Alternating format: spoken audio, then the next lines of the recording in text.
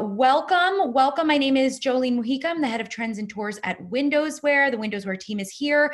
Welcome to those of you who have been um, joining us every Tuesday for these sort of trend chats and on Thursdays for our industry speakers. Um, today, we're going to take a look at museum exhibits. Um, if you have any questions along the way, by all means, I heavily encourage, feel free, chime in, unmute yourself. If you've been to these exhibits, if you've been to these museums, I want to hear your feedback. I want to hear your personal experiences. Um, this is interactive, so don't feel like, you know, I'm just sort of talking at you. Uh, I want to talk with you guys. So uh, feel free to also, if you have any questions, if you're feeling a little shy, don't want to turn your camera or your mic on, totally awesome. Uh, just go ahead and put that in the chat feature. Raul and our team's going to be taking a look at that and we'll be asking questions along the way. So, oh, perfect. We just populated another three or four people. So welcome. We're going to go ahead and get started. All right, let me go ahead and pop this bad boy open. All right, so here we go. Let me close this up so I don't get distracted. All right, so welcome. Um, again, my name is Jolene Mujica, and whether this is your first time here or you've been to several of these, it's always lovely to see you. Um, today, we're going to be talking about the idea of fashion as art museum exhibitions uh, curated, whether through the brand or through uh, an actual museum. Um, if you've been to these exhibits, I just mentioned this, but I know we got a couple more people. Please chime in, let us know your experience. I've been to a lot of these, but a lot of these I also have not been to or been to variations of the touring shows. So let's go ahead and get started. Whoops. Boop. Um, so we're going to start with curatorial museum exhibitions. And the biggest question we're going to answer here is, you know, is fashion art? Right? Is it a form of art? And obviously, the short answer is yes. I think everyone in this room and everyone listening would probably agree, right? And we've seen museums worldwide sort of answer this question from a standpoint of cultural relevance for decades, right? And fashion exhibitions are great because they can showcase designers and from a museological standpoint or perspective through the conservation of garments, archives, providing context into historical accuracy and inspiration, right? So these exhibits are unbelievable, right? Um, and I should also note that this is not where brands come for financial gain, right? Though the idea of like the practice of exiting through the gift shop, it's always implemented, right? It's that Disney World style, right? Go through the attraction, then exit through the gift shop. Of course, everyone wants some form of um, financial ROI, uh, but it can be very, it's not necessarily about that, but it can, however, be very lucrative for the museum and the museums and the institutions who attract millions of people every year through cultural tourism, right? And if we know uh, about tourism from our hospitality chat a couple weeks ago that there's two sectors. There's consumer tourism so you're shopping dining hotels and then your cultural tourism which consists of things like landmarks right? Going to see the statue of liberty big ben the vatican and at the epicenter of that are museums right? You probably wouldn't go to paris and see the eiffel tower without also going to the louvre right? So this is great because the fashion industry fits into both of those right? Both consumer and cultural tourism and museums are this vital role in the effort of like attracting that demographic so let's jump right in. We're going to take a look at two separate kinds of exhibitions today. Um, uh, chronological surveys, which are timelines of a specific designer or a period of history, and then thematic surveys, right? Inspiration, which could be multiple collections curated around a specific theme. Let's jump on in. So I could have picked easily, you know, 10, 20 exhibits from the Met, uh, but this particular one is uh, pretty incredible because um, Heavenly Bodies and the Fashion in the Catholic Imagination was the largest, most attended exhibit that the Met has ever organized, right? It brought in 1.7 million people. Um, it was absolutely incredible. Um, did anybody go to this? I know a lot of my New Yorkers, I know a lot of us are based out of different places, but I know most of my New Yorkers probably at some point went to this. It was a huge exhibition. Uh, the picture that you see in front of you uh, right now is from the ecclesiastical collection for John Galliano for Dior. Uh, and then here we have the celestial hierarchy, which is also um, a Dior piece by John Galliano. And I don't pretend to be an archivist or a curator, although I have a huge affinity for these exhibits. And it's one of my favorite things about living in New York City and traveling is going to museums and seeing these histories sort of laid out. But I want to uh, start this off by listening to someone who I think is an absolute uh, wealth of knowledge on the subject matter. So let's take a listen very quickly just to sort of get ourselves into the mentality of what this looks like and what this means. This is Andrew Bolton, who's the head curator of the Met Costume Institute. All right. So here we go.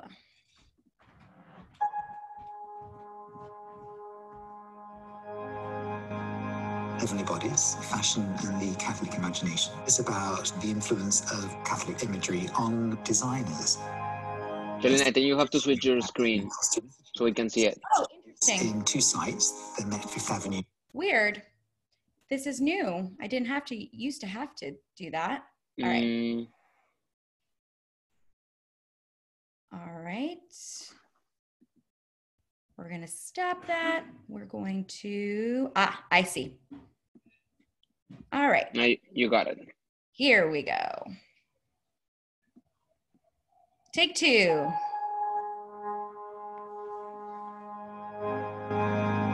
Heavenly Bodies, Fashion and the Catholic Imagination. It's about the influence of Catholic imagery on designers.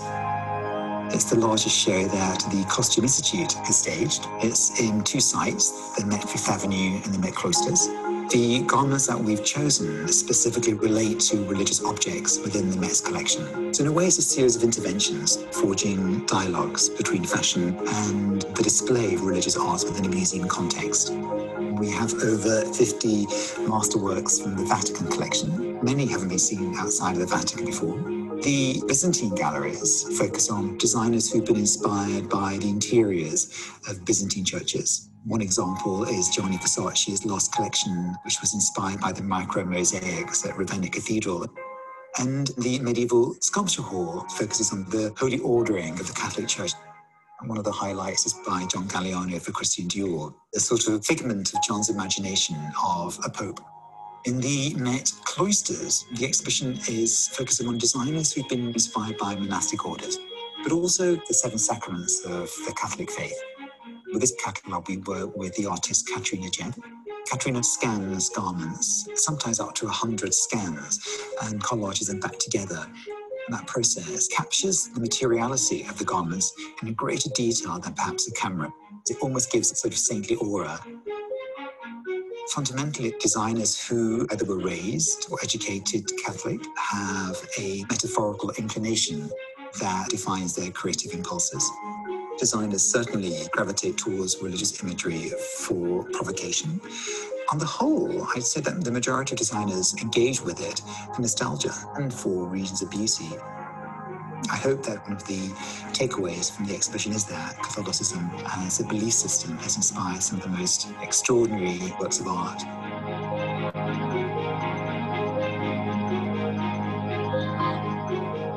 All right. So, I mean, I just find that breadth of knowledge just so incredible uh, to listen to. And you really see the insane amount of attention to detail that is put into this and the time and the effort. And, you know, to hear from the experts themselves to me is always um, the sort of uh, best way to educate. So let's bounce right back in. Switch If I'm not mistaken, Jolene, that has the biggest uh, exhibition has at the Costume Institute, correct? Yes, yeah, it was the largest undertaking from the Costume Institute. It included their two properties, so the Met on Fifth Avenue and the Met Yeah. Cloisters. So it was huge. It also was the first time that the Vatican had taken out the um, the papal uh, vestments to be uh, shown somewhere else that wasn't the Vatican. So it was really, really big. And in fact, this entire uh, talk today is inspired uh, by the documentary the first monday in may. So if you've never seen it i believe it's available either on youtube or it might still be up on netflix. Um, it's a beautiful uh, it- way to showcase this idea of fashion and museum exhibition sort of coming together. It follows china through the looking glass and it uh, andrew bolton is very heavily featured in that. Let's jump on over to something completely different.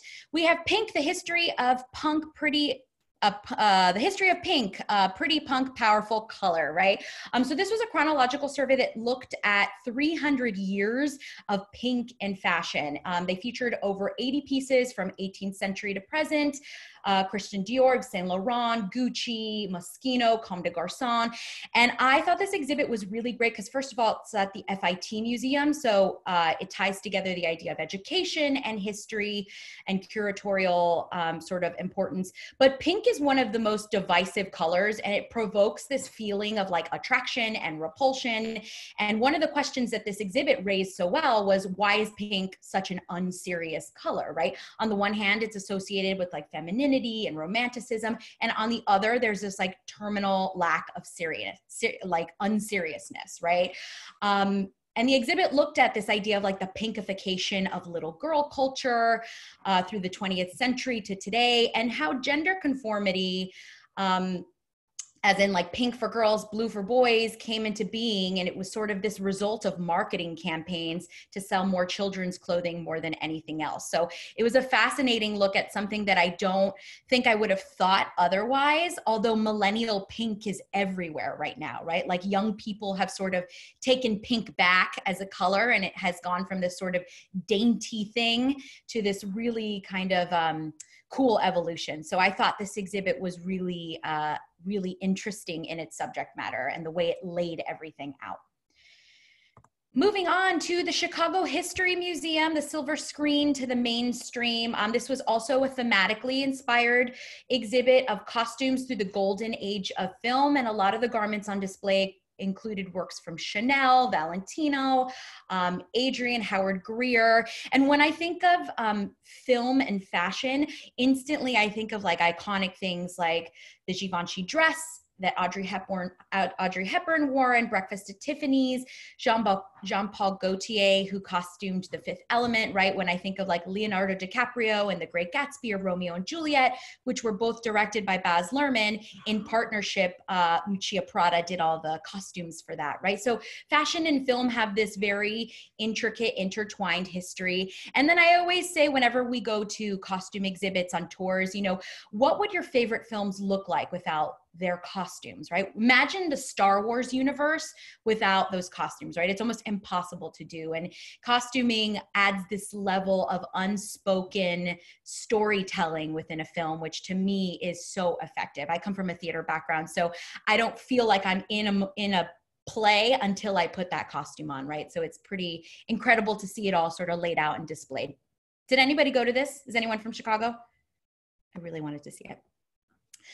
All right, moving along, we take a look at uh, the Brooklyn Museum Killer Heels, the art of the high heeled shoe. Uh, this included 160 historical and contemporary heels um, Manolo Blahnik, Chanel, Ferragamo, Christian Louboutin, Prada, Vivienne Westwood, right? And this was cool because it was a thematic look at the way, different way designers have interpreted like a form of a high heel through the lens of history, right? Whether it's a fashion statement, a fetish object, an instrument of power, an outlet of artistic expression, right? Um, for, for both the designer and the wearer, it was fantastic. And it looked at the sort of commonality of architecture in a high heel design, right? When you think of architecture, you think of support, structure, and height. And that's exactly what a good high heel should encompass. And then they looked at uh, things. So in this previous gallery, oh, this next gallery, so we have a sort of cool layout of an exploration from 2000 years. So the eastern influences of japanese wood soles along with contemporary stiletto heels which again sort of incorporate that like fetishy subculture. And there were also these six beautiful films that ran through the exhibit um, in which heels were featured as their sort of conceptual or thematic starting point right? Uh, raul i believe you went to this right? I missed this one which was a bummer. Yeah i went. I went. It was in the brooklyn museum. It was big uh, it was fun, and they were actually uh, they had um, some fashion films also, like uh, right, Steven Klein. Mm-hmm. Yeah, Steven Klein has an amazing fashion film on shoes, um, which is basically kind of it was kind of like uh, like interesting. It was it's a pair of heels as a woman in heels, kind of like uh, destroying like a car, like kind of like a scratching it with the heel, and and the real sound of it. Yeah, it was it was interesting. Cool. So then we move along to the Museum of Fine Arts in Boston, and this exhibition was called uh, Gender Bending Fashion. And this basically looked at a century of haute couture and ready to wear and sort of challenged the rigid definition of gender and dressing. And this is super topical to what's going on right now, right? If you think of brands like the Phluid Project who are thriving in with their representation of of sort of uh, non-binary people, right? This exhibit featured 60 designs, Jean-Paul Gaultier, Christian Siriano, Virgil Abloh, Rei Kawakubo from Comme des Garçons, among many others. And it spoke to the view sort of more broadly to societal shifts in the past century, right? Including like the changing of gender roles, um, increasing visibility for the LGBT uh, LGBTQ community and the rise of social media as this kind of powerful tool for self expression and honestly defining identity on a spectrum rather than along like binary lines that's like a cultural paradigm shift right? And it goes hand in hand with like new modes of self representation and i thought that in researching this exhibit it did a really cool job of sort of pushing that narrative and that expression whether it was through sexuality or race or pop culture or activism or social justice right? So this was a very well curated and fun exhibit this next slide, this is a great uh, piece sort of questioning and challenging the idea of the feminine and the masculine. So moving on. So now we jump ahead to some of our solo shows or uh, curatorial exhibits that focused on a single designer. So this was at the National Art Center in Tokyo, and the exhibit was called The Work of Issey Miyake. Um, this is a career retrospective for Issey Miyake. Uh, he is still alive. Uh, so this showed 45 years of his career to the present. Um, and if you're not familiar with Miyake, if you've ever been to any exhibit that talks about um, technical proficiency, you will always see an Issey Miyake piece represented. Um, there was a lot of his stuff featured in Manus versus Machina at the Met a couple of years ago. Um, and he's best known for his origami collections, right? And the famous garment pleating, which involves pleating of clothing rather than textiles, which basically constructs garments. That he makes garments at two to three size, two to three times the intended size, and then precisely folds, irons, and places them between paper into a heating press. So it's this mixing of ancient technique and cutting edge technology, right? This is the idea of that piece of cloth that he likes to work with. Um, what else can I say about Issey Miyake? Oh, uh, these mannequins. Oh, by the way, I some of my favorite um, photos of this exhibit uh, included these gorgeous mannequins. They were designed by uh, a sculptor named uh, Takachin y- uh, Yokoshaka, um, and they're made out of this acrylic. And I feel like with the idea of Issey Miyake's kind of technologically smart work, this kind of acrylic mannequin makes it really cool and engaging and fun. They also had these beautiful daily demonstrations where you could see the garment pleating.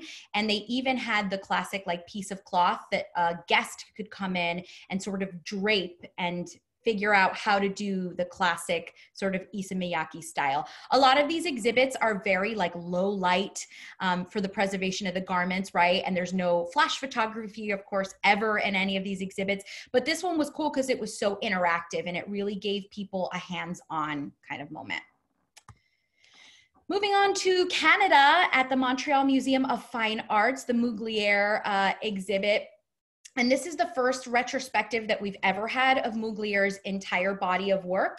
Um, he's also still alive, so it's um, from uh, 1977 to the present, and it examines his vision. This this exhibit was called Metamorphosis, Superheroines, and Cyborgs. Right, so um, he's known for his use of like really unusual materials, right? Glass, chrome parts, latex, metal, LED lights um, anything that's sort of out of the ordinary or unorthodox. And he always creates these really sleek, like creatures, right? They're these elegant, hypersexual kind of powerful women. And this exhibit showed 150 garments. Um, and it also featured a lot of unpublished documents and sketches from the designer's archives, which is always fun to take a look and see into the mind of how they created this. Um, and it also featured a lot of photography. Uh, from Dave LaChapelle, um, Merton Market, Mert and Marcus, Karl Lagerfeld, Steven Meisel, right? Um, and because he's so ostentatious, I feel like this idea of that fembot couture that's like his appeal, right? And a lot of his um, his pieces are often worn by celebrities because they're so big and bold. So he costumed David, well, not costumed, but dressed David Bowie. He's dressed Lady Gaga, Beyonce. And if you saw Cardi B last year at the Grammy Awards, that famous, like, sort of pearl dress that almost looked like the opening of a clam, right? That was a really beautiful vintage Mugler piece. Jumping ahead to the National Museum of Women in the Arts, uh, this is Rodarte. So this was the first solo exhibition for um, sisters Kate and Laura Mulleavy, who are the founders of Rodarte. Rodarte is actually their mother's maiden name. So this was more of a um, mid-career survey, and they wanted to really emphasize the idea of live theater. And I think they did it really smartly. Front and center is their ballerina tutus that they designed for Natalie Portman in the movie Black Swan. Moving on, this one we could talk about for forever. Um, the Dallas Museum of Art uh, built this really beautiful exhibit called, or hosted, I should say, uh, this beautiful exhibit called Dior from Paris to the World um, in Dallas, Texas. And Christian Dior himself was an art gallerist for 10 years before he even launched into design. So it's really embedded into the DNA of Dior to archive and curate their work. And Dior is a brand that is so global. Any given month, any given year, there are like five, six Dior exhibits around the world. Like before we went into quarantine, there was the V&A Designer of Dreams, the Miss Dior Love and Roses exhibit, Dior in Denver, Lady Dior, and From Paris to the World, right? And From Paris to the World surveys 70 years of the House of Dior's legacy and their influence. Um, and Dior, to me, there's two sides. There's this one, which is like quintessential Dior, right? Which set this beautiful post World War II modern femininity standard. Um, and then there's this gallery, which just exhibits their kind of global influence, right? So it looks like it could be two separate exhibits, right? But it's just how vast their collection is, right? There were 200 couture dresses, accessories, photographs, sketches, videos, all tracing the history of the House of Dior. And each gallery, which I thought was cool, profiled uh, each artistic director from Christian Dior himself to the eras of Yves Saint Laurent, Marc Bohan, John Galliano, Raf Simons. And for the first time, this particular exhibit highlighted Maria Grazia Chiuri, who is the first woman to be appointed as creative director of Dior. Nicole, I know you wanted to like desperately see this one as a Dior fan. Um, moving along to the Wallace collection, An Inquiring Mind by uh, Manolo Blahnik. So this was co-curated by the Wallace Collection director Xavier Bray and Mr. Blahnik himself. Uh, Manolo Blahnik, who personally selected all the shoes from his private archive. It spans 50 years, and each gallery explored a separate theme, right? So one gallery had theater and spectacle, one gallery was native Spain, and the one that we are looking at is the 18th century Rococo style. And this gallery's sort of key elements are um, aristocratic elegance through the 18th century of France and Russia. Um, the inspiration was the famous Louis XVI heel, which was also featured at the Killer Heels exhibit. And in the background, you can sort of see um, the shoes that he designed for Sofia Coppola's film Marie Antoinette. Moving on to the Museum of Art and Design. This is Anna Sui's exhibit. I kind of want to, again, like sometimes I, I wish we removed the designer to see if you guys could uh, figure out who it is based on the exhibition itself. Uh, but this is, um, Anna Sui is always called fashion's favorite daughter because of her sort of reinvention and accessibility of like this idea of boutique granola aesthetic, right? Um, this was from the MAD in New York City and it featured a hundred of her looks focusing on her unique use of textiles and her pop culture references, right? I always love Anna Sui's collections because it's like filtered through this lens of grunge, hippie, mod, surfer, which is a great sort of celebration of like feminine counterculture, right? Take it like take into example what we just looked at at Dior, which was so classically feminine. Um, and then this is sort of that idea of counterculture. I thought it was really fun. And the MAD is known for their textile exhibits, and she works really beautifully with textiles. So it was a good marriage of the minds. Moving on to the Dominican Republic, this uh, was the exhibit um this was sort of a valentine from the Oscar de la Renta Foundation to the city of Santiago in the Dominican Republic. And it's a chronological survey which features 50 of his original garments before he passed away. And what was amazing about this is there is a 30 minute documentary that before you even make your way through the galleries, you don't obviously have to watch the entire thing, but it is a 30 minute documentary uh, that chronicles and interviews Anna Wintour, Hillary Clinton, Julio Iglesias, and it highlights his life, his philanthropical contributions, his legacy. Um, so it was really sort of classic and beautiful. Very sort of classically Oscar de la Renta, right? All those beautiful um, gowns, which I think the new creative directors have carried over really beautifully. Moving on over to, okay, I'm very, very biased, but I've lived in New York for uh, 14 years this year. And of the 14 years I've been here, this is by far my favorite exhibit that I've ever been to, whether it was fashion or not. Um, this was a co, sort of a co-pro, co-production between the Met in New York City and the Victoria and Albert Museum in London. Um, and it is universally regarded, whether you're in fashion or not, as one of the best exhibitions for a museum of the 21st century. And I think Alexander McQueen is easily recognized as a luminary in the fashion industry, right? It's always really amazing uh, to see his work and Alexander McQueen was constantly sort of promoting the freedom of thought and expression and championed this like authority of imagination, right? He was also, you know, if you know anything about him, a very tortured soul. You know, when he died, you know, he committed suicide very tragically. And he always referred to himself as the Edgar Allan Poe of fashion. So he was really dark. And his collections always reflect this paradoxical relationship between like polarizing opposites, right? Whether it was light and death, life and death, light and darkness, man and machine, predator and prey, and even the title of this exhibition, right? Savage Beauty. That's the sort of juxtaposition of ideas, right? This gallery right here was one of my favorites. I really could have just done a full hour on this exhibit alone. Um, yeah. But this was the idea of romantic nationalism, right? And McQueen was always an incredible storyteller. As a storyteller myself, I have such a respect for people who have narrative based collections. I find them so engaging. And on the left, you can sort of see. Um, his great pride in his paternal Scottish heritage, shown through that classic tartan plaid. And on the right is his love of British history and pageantry, right? So he was born and raised in London. His father was Scottish. And this is like a showcasing of his dual nature, right? It's a face off between the Scots and the Brits, which have this very muddy history uh, anyway. In the second um, gallery, yes. Stacy is saying, uh, I couldn't get into the McQueen exhibit in New York City uh, try, but it was sold out. I remember I went there three times, and I remember the lines every time. Every time, um, I saw it twice as well, and I. But waited, it was worth it. I waited three hours each time, but I had to go back and see it. It was incredible. Yeah. I um, was telling I was yeah. telling Nicole the other day that um I, I think the McQueen was my first exhibition that when I moved to New York. So ever since I haven't missed anyone anything. So I never I don't think I've seen a level of production that that went into that exhibition.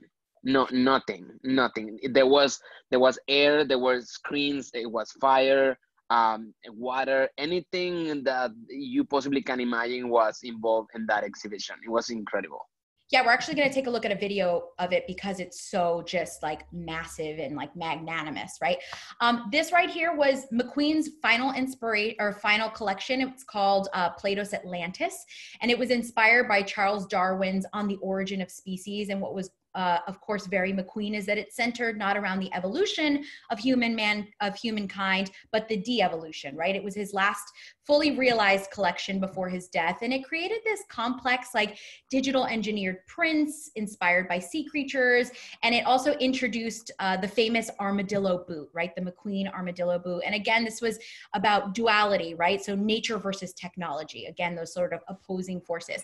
We're going to take a look at the video from the exhibit. This is from the V&A, not from the Met because I think the V&A just had a, a better sort of visual guide, uh, just so you could see how big and how, to Raul's point, beautifully thought out this entire exhibit was. So let me just go ahead and switch this up so we can share that.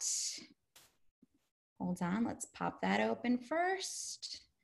Since I'm, what's strange is now I have to switch between the two, but totally fine. Here we go. All right, let's take a look at Savage Beauty for all those that couldn't go. And then you can see the stats at the bottom of just how huge this undertaking was for everyone who put it together, right? All the statistics are there. Um, I love this shoe. It's a beautiful, beautiful, the bone heel example of primitivism, which was a house code for McQueen. And this is the work of um, jeweler and longtime collaborator Shaun Leane. Shaun Leane worked with McQueen. They were best friends. That's him right there on the left. He worked on all of his collections and built all of this sort of military gear for him. These are the uh, the curators and the staff very gently putting everything together.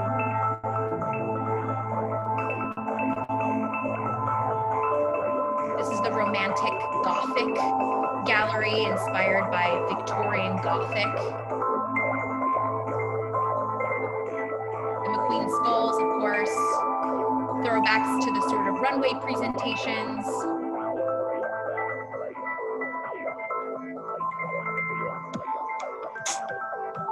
And to your point, who was whoever was saying the lines were so long I couldn't get in, right?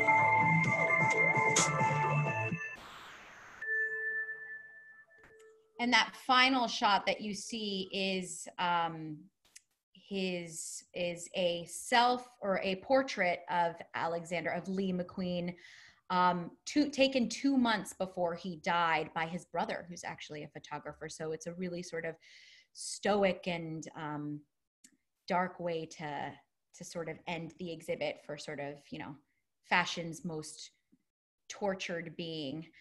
All right, let me jump back onto our screen shares.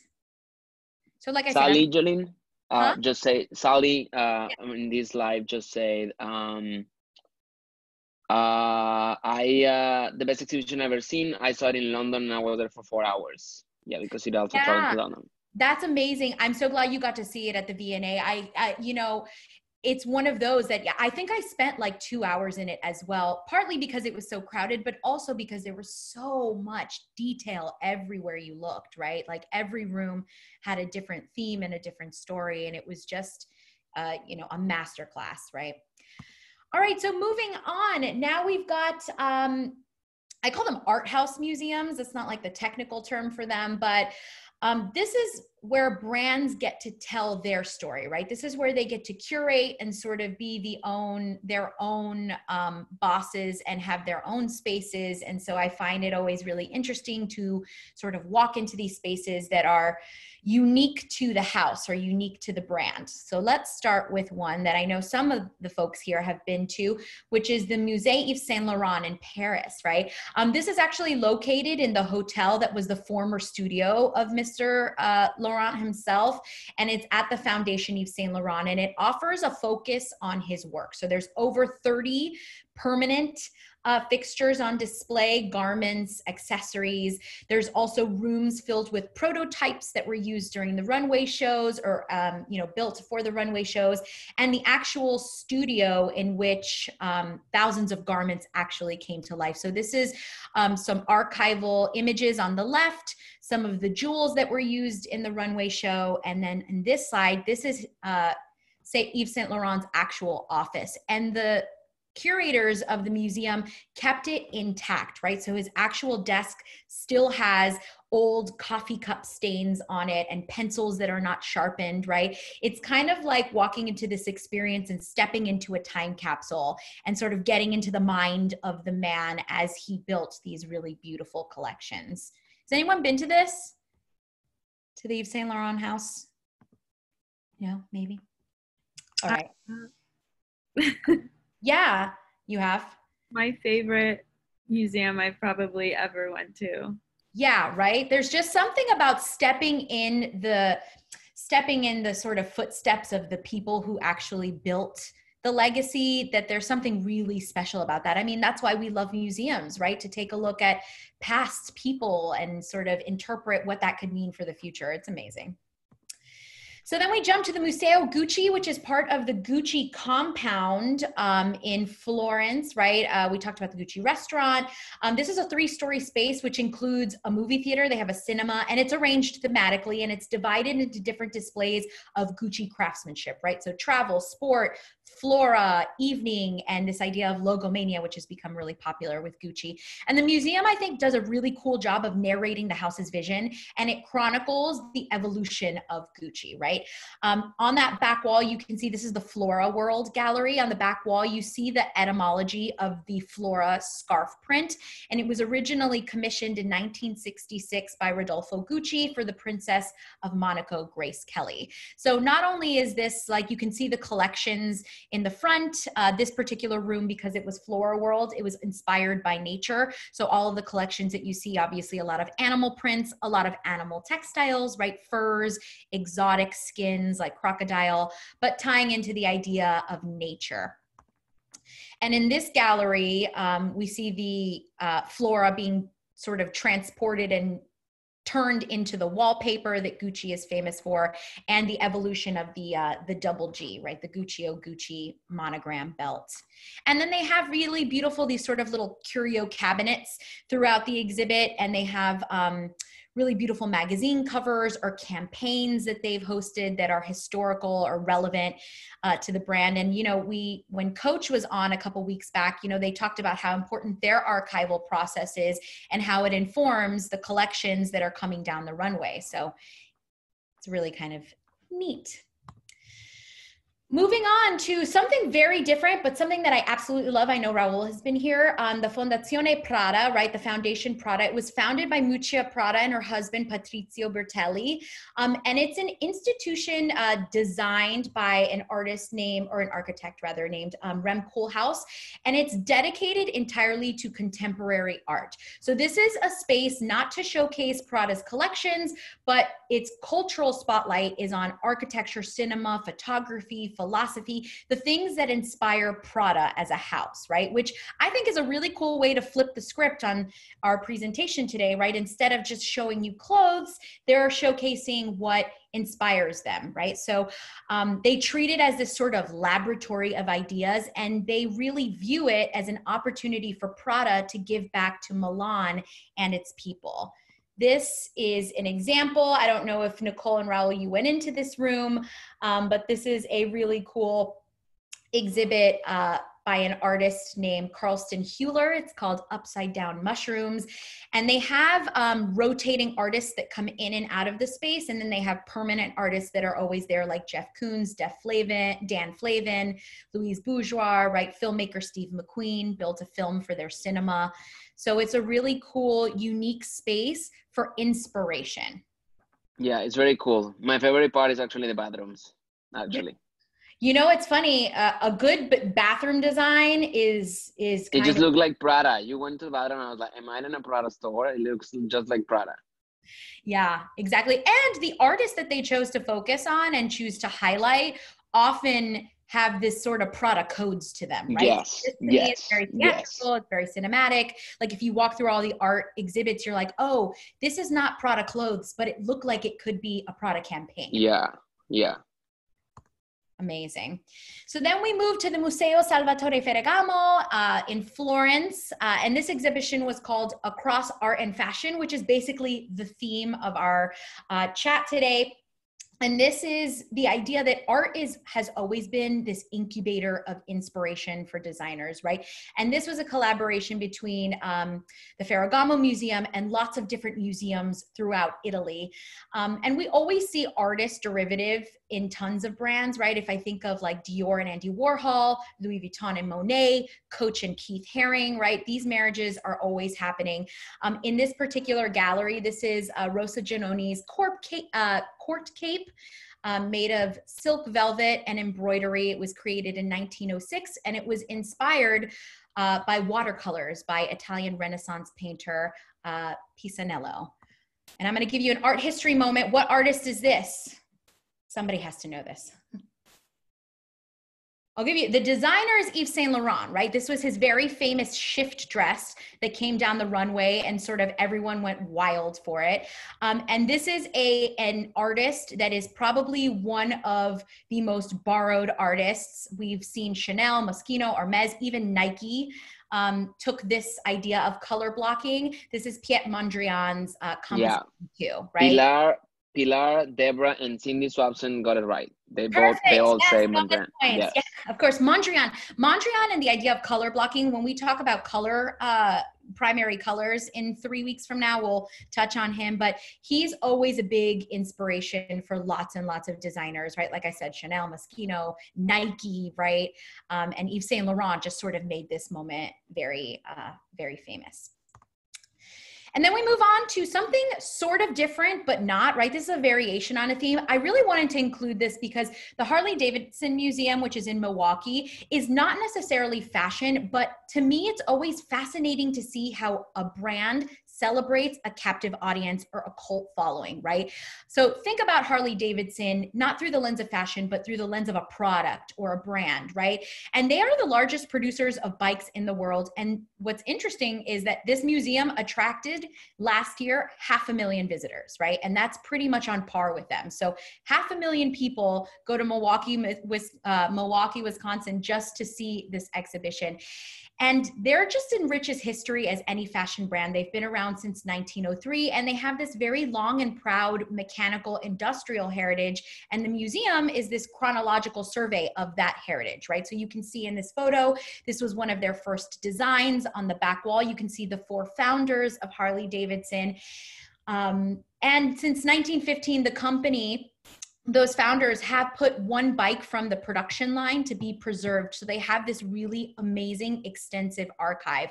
And it is worth noting that 5% of Harley Davidson's $6 billion annual revenue is through clothes, right? When you think of Harley Davidson's, I think of biker gangs.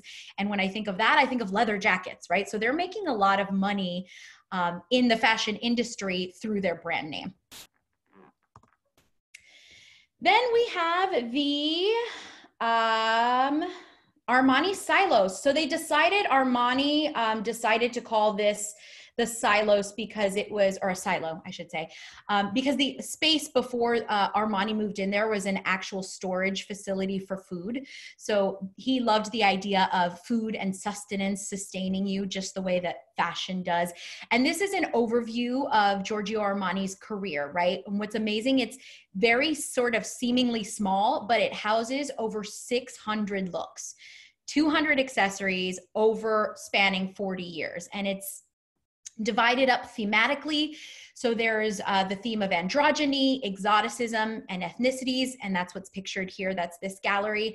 Um, in this gallery, we see the sort of strong influence of these non-Western cultures, Persia, Africa, Japan, Syria, China. Um, and then the third exhibit was stars, right, focusing on red carpet glamour. Armani is on every Oscar Best Dress list usually, and then digital archives, which is really fascinating because you could actually go to their lab and you can sit down and look through all of their online catalogs, right? Because a museum is an analog experience, right? You're walking through at your own pace, you're taking a look at the garments, you're taking it all in, um, but they can't necessarily house everything, even though 600 pieces are a lot.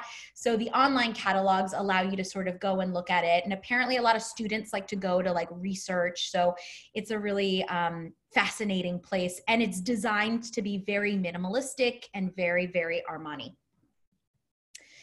And then we end with this is my favorite story of all of the, aside from I love the McQueen because of its artistry, but I wanted to include this one. It's from the gallery, uh, the Alaïa Gallery in Paris um, because it's the sort of tale of two designers, right? So, just some history context. In 1968, when um, Cristobal Balenciaga closed his studio, um, Azzedine Alaïa, who was a huge fan, acquired those archives. And at the time, the archives were given to him to potentially change and revamp and breathe new life into the brand. But he had so much respect for Balenciaga's tailoring and sort of technical virtuosity that he used the garments instead as this muse for his own collection. So he preserved them and held onto them, and they became this inspiration for him. And this exhibit, particularly, is really fascinating because it's the brainchild of fashion historian um, Olivier Sal, uh, Saillard, uh, Carla Sozzani, who was the editor in chief of Vogue Italy at the time, and Hubert de Givenchy, right? So Givenchy himself, all of these people knew Alaïa and they knew how much he personally loved Balenciaga. And when he passed away, they really wanted to do something to commemorate this reverence that Alaïa had for Balenciaga. So they built this exhibit which is like a labor of love right? This idea and this honorarium to two brilliant men that had a lot in common. They both loved to use black. They were both very sculptural in the way they built their clothing. They were both very private and they didn't believe in traditional fashion weeks. They didn't give interviews right? And this uh, exhibit was sort of conceived. I love how it's like this pristine white labyrinth. There were 80 different pieces that were chosen. And here we get to see pieces from both designers and they mirror one another, right? They never get too physically close to one another. And that's basically a reflection of the fact that these two men never actually met in person. So their paths never crossed, even though Alaïa was so influenced by um, Balenciaga. So it's kind of like this like very epic posthumous designer tennis match, right? You see each piece and you see the commonality. Um, it's really cool. And this is currently going on, obviously, uh, not given the circumstances, but it is um, still in the gallery right now, and it is scheduled to travel to the Balenciaga Foundation uh, in about four months, if you know, fingers crossed. I should also mention that a lot of these galleries, um, the Prada Foundation, the Gucci Museum, the Met, the V&A, um, this gallery are all on view virtually. So if you want to take a look, you can go to all of their websites and you can actually see these exhibitions and you can view them on your own terms um, virtually. And that is the end. So, um, questions, comments, let me know what you thought. Uh, I'm going to go ahead and eliminate that screen share so I can see your faces. And obviously, this is something that we could have, um, again, gone through for another three hours. There are so many of these exhibits. This was just a sort of highlight reel of some of my personal favorites and some of um, the biggest uh, of, uh, of, you know, the past 20 plus years. But any thoughts? Any favorites?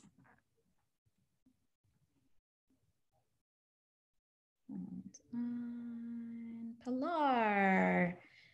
Thank you so much. Very interesting. Amazing. Yes. It's always our pleasure. And uh, yes, exactly. We can literally fill chapter two with this subject matter. And we're actually going to get into brand activations as museums in a couple of weeks. So we're going to see the sort of flip side of what, um, you know, these not so popular or rather not so permanent um, museums look like when they bounce around in different cities. And you never thought of an exhibit on just high heels. Yeah, that's interesting, right? This idea that, you know, this very ubiquitous shoe that sort of represents femininity um, was actually worn by men before it was worn by woman, women and was worn by you know royals and i love i am a scholar always i love learning it's why i love these exhibits um, and you know just when you think that like is that subject matter that would make sense you go in and you learn about the history of pink right or you learn about the history of um, of high heels or a particular designer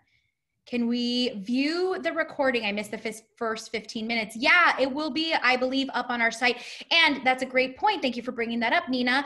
Um, all of the material that we shared with you today is available on windowswear.com. I believe on our trends page, if uh, if I'm not incorrect. It will it will be in the same uh, link of the event.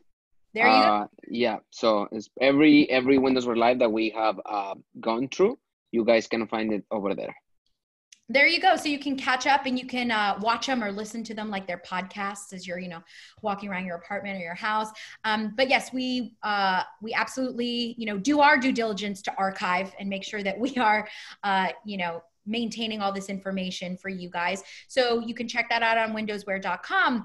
And just some announcements coming up on Thursday we have um, Josiah Slimwell from LVMH Cosmetics and Beauty. He's going to be talking about um, a new retail concept design. So if you are interested in that, it's going to be fantastic. Um, Josiah is a wealth of knowledge and um, you know, he's representing LVMH, which is fantastic. So tune in Thursday at 3 p.m. for that. And then next Tuesday, we'll be back here with me and we're going to take a look at the business of beauty. So again, this Thursday with Josiah Slimwell of LVMH and next Tuesday on, I believe, the business of beauty.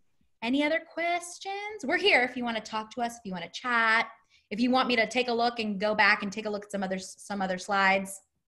Thank you. Thank you, Pilar. Thank you, Jolene. Someone named Deborah asked um, yes. if the Dior exhibit at V&A had higher attendance than the McQueen. She heard that the Dior broke all records. Correct. Yeah. So cumulatively, McQueen between the Met and the V&A is like the highest grossing exhibit of all time. But for the V&A specifically, um, it is the Dior exhibit. Yeah, Dior Designer of Dreams just broke that record. And that McQueen exhibit was in what, 2013? So, you know, it took all the way to 2020 to break uh, McQueen's record. But that is correct information. Yeah, the, the new Dior Designer of Dreams exhibit is now the most uh, viewed, which is amazing when you think of these museums and these cultural institutions, right? People go to the Louvre to see the Mona Lisa, right? Or they go to the MoMA to see Vincent van Gogh's Starry Night. And yet, um, what's breaking these sort of box office records is these fashion exhibits, right? They really do bring in uh, people in droves. Thank you, Carolyn. Yes, thank you, Pilar from Madrid. Buenas, buenas noches. Got quite the time difference over there.